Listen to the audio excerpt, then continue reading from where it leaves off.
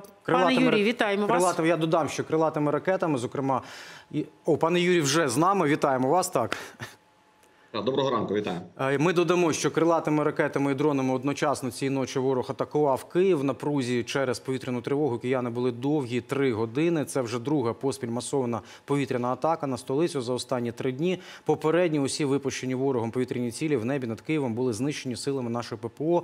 Про це розповів очільник Київської міської військової адміністрації Сергій Попко. Жертв серед цивільного населення, руйнувань житлових чи об'єктів інфраструктури не зафіксовано. Пане Юрій, питання вам по нашому сьогоднішньому ранку ночі. Е, Що відбулося? Далі будуть наші питання.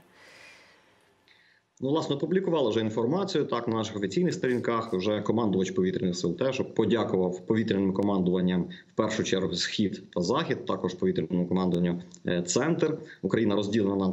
На, на з'єднання відповідні повітряних командувань, ще є повітряне командування Південь, яке я не перелічив. Сьогодні там не працювали. А ось у цих трьох командуваннях було застосовано озброєння, е, яке збивало е, власне е, крилаті ракети ворога.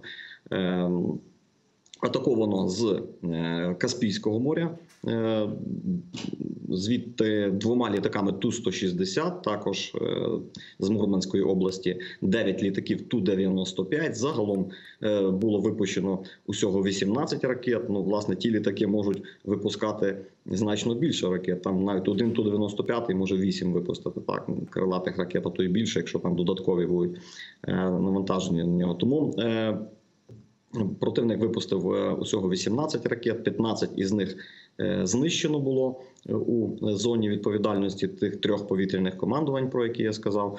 Ракети традиційно Х-101, Х-555. На жаль, не всі знищено цього разу. Ну але до до 100% результату знаєте, що Україні потрібно. Потрібно посилювати ППО, потрібно посилювати, посилювати наше і винищувальне прикриття, зокрема західними літаками. Дві тези від вас, які вони напередодні озвучували, що Росія тепер вже росіяни не прив'язуються до якихось там своїх дат сакральних, але все ж таки не забуваємо, що 1 травень для них це велике свято. Мір тут має таке інше. І чого очікувати тоді на 9 травня? І друге, що ви зазначили, що Росія е, виробляє ракети, але темпи значно зменшилися. Раніше йшлося про 40 ракет на місяць, десь в середньому. Про які цифри йдеться на тепер?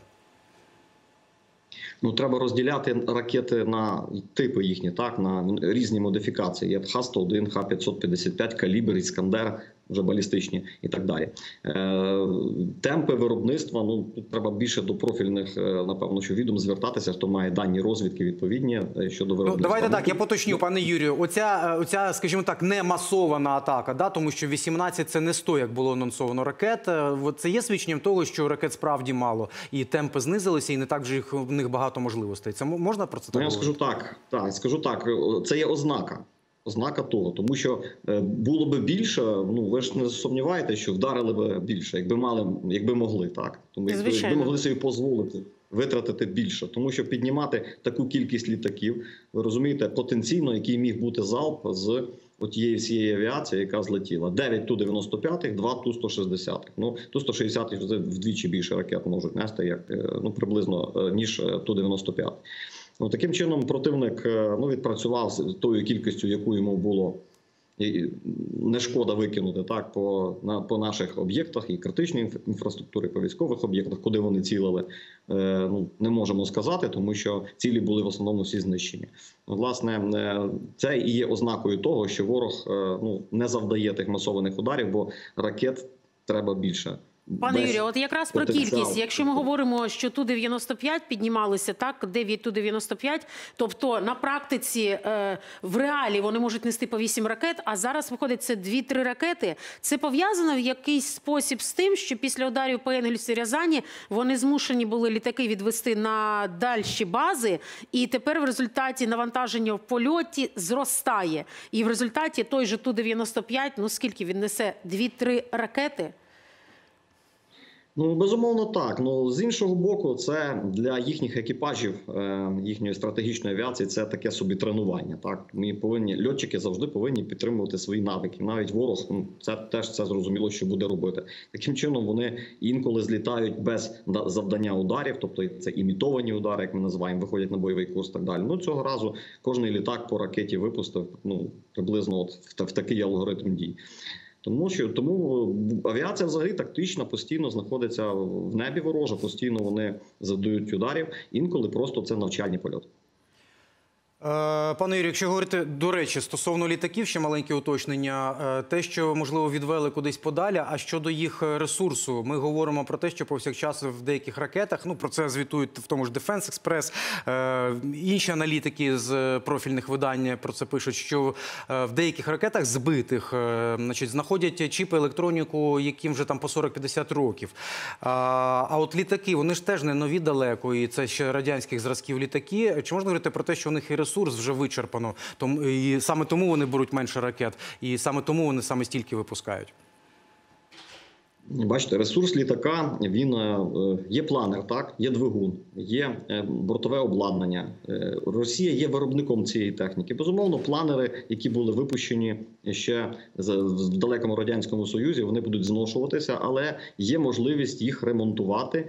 Е, Продовжувати їх ресурс, це так називається. Так, коли на заводі дивляться, чи все працює, продовжують ресурс цього літака. Ми, до речі, теж по, по, по такому напрямку працюємо. У нас не- немає в Україні заводів, які виготовляють техніку. Так ми просто продовжуємо постійно ресурс, і ті літаки, які сьогодні у нас літають, наші.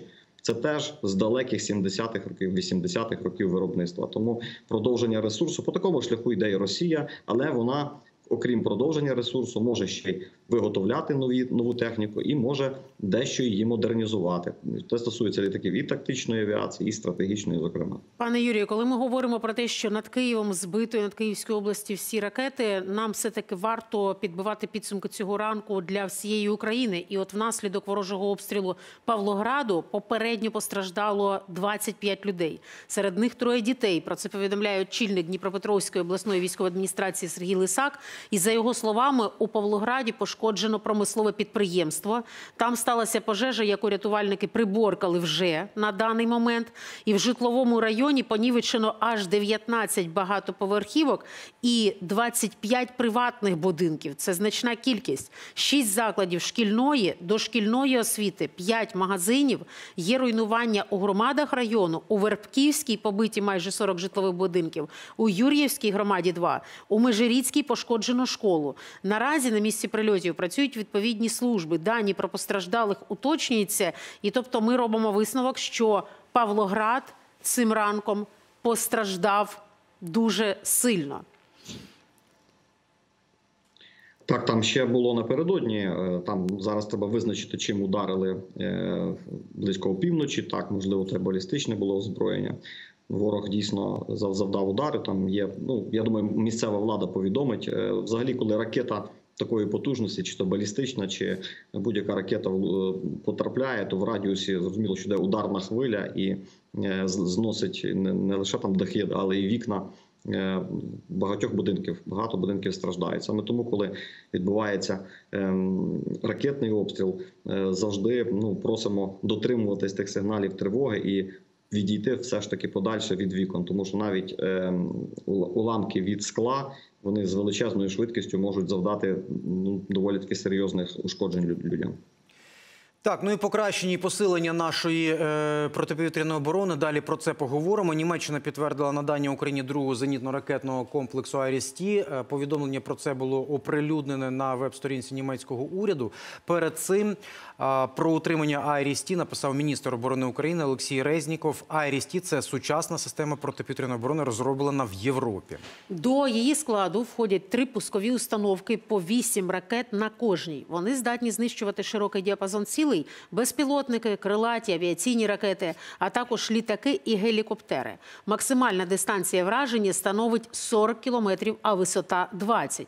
Україна отримала першу батарею «IRIS-T» у жовтні 22-го року. Вона показала високу ефективність під час відбиття масованих російських ракетних ударів. Цьогоріч Німеччина має передати Україні ще два комплекси «IRIS-T». Ну, Якщо взяти на широкий загал, IRIS-T, Patriot, постійно поповнення відчуваємо іншими системами. Так само анонсовано, що Skynet система протидронна да, вже може бути поставлена або поставлена е, нашим силам ППО. Е, Так само говоримо про чергові контракти з турками і Байкар компанію, наші особисті е, українські розробки. Як оцінюєте, чи можна говорити про те, що ми ну досить швидкими темпами йдемо в цьому питанні щодо закриття неба і розгалуження цієї царини? Ну, Бачите, е, щодо найменувань номенклатури озброєння, яке ми отримуємо від е, наших західних партнерів, то тут е, ну залишився лише сам ПТІ та F-16, якщо говоримо про повітряні сили, так ну дійсно. Але з іншого боку, тип озброєння, який ми отримуємо, він то є і вже працює в Україні. Повірте, усе західне озброєння, яке сьогодні зараз є, все в тій чи іншій мірі працює на нашу перемогу. Я маю на увазі ті комплекси зенітно-ракетні, які ми отримаємо, але е, їх ну недостатньо. Ми розуміємо, що е, говорити, що Айрісті в Україні чи Петріот в Україні це доволі таки гарні для нас новини, але все ж таки їх треба більше, значно більше. І ми це розуміємо, тому перекриті будуть ну не всі напрямки, тому що система протиповітряної оборони дуже розгалужена система. У такій державі, як Україна, потрібно значно більше цих систем. Три установки е, радіусом до 40 кілометрів. Так, Айреса. Розуміємо, що ми від ще радар, командний пункт, так і три установки, які можуть. Так, напівколом розміщуватись в тому чи іншому регіоні, в, в, в залежності, як визначить керівництво військове, так і захищати повітряний простір ну приблизно е, так лінію фронту у 100 кілометрів. Ну приблизно Е, Україна дійсно велика е, країна, одна з найбільших в Європі, і тому е, наявність е, систем цих дуже необхідна для нас на даному етапі. Але все ж таки літак, який міг би забезпечити повністю охорону повітряного простору, винищувальне прикриття з повітря, це та необхідність, яка сьогодні буде актуальною і, і надалі. Пане Юрію, і все таки останнє питання. Знаємо, що все перераховано збройних сил України. Коли ви говорите, треба більше. Скільки в ідеалі установок Айрісте нам потрібно? IRIS-T е, – один з найкращих комплексів, які сьогодні є. Я маю на увазі один з найсучасніших. Чим комплекс е, хороший, тим, що він має потужний радар, радар, який бачить дуже деталізовано, дуже чітко і може розрізняти найменші е, цілі, які мають на дуже малу ефективно відбиваючу поверхню. Так тому нам не те, щоб Айріси, ми розуміємо, що Айріс може працювати в єдиному інформаційному полі з західними системами, такими як NASAMS, Patriot чи SAMPT. Вони можуть ті комплекси обмінюватися оперативною інформацією. Це дуже важливо на сьогоднішній день, щоб ну, в єдиному інформаційному полі те, що не збив, скажімо, там один комплекс, його підстрахує інший, так на цьому чи іншому напрямку. Е, IRIS-T – новий комплекс. Німеччина не зможе нам виготовити достатню кількість е, вже і зараз, але на довгострокову перспективу е, з нашими німецькими партнерами зрозуміло, що буде вестись робота для того, щоб співпраця для того, щоб так отримувати. Тому треба більше, але є системи NASAMS, які є у світі, яких є доволі таки немало, тому можемо поповнювати і за рахунок інших систем. Не лише Дякуємо вам. Юрій Ігнат, речник командування повітряних сил збройних сил України, був з нами на зв'язку.